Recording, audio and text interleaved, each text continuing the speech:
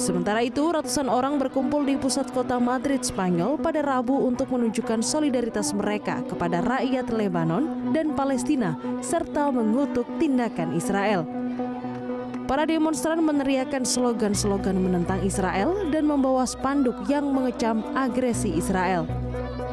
Para pengunjuk rasa yang memiliki keluarga di Lebanon dan Gaza mengungkapkan ketakutan atas masa depan mereka.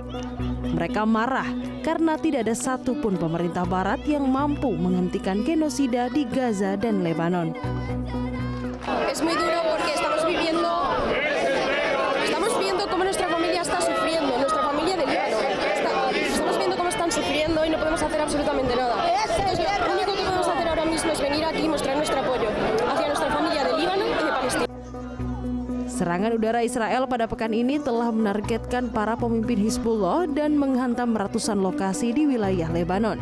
Ratusan ribu orang telah melarikan diri dari wilayah perbatasan.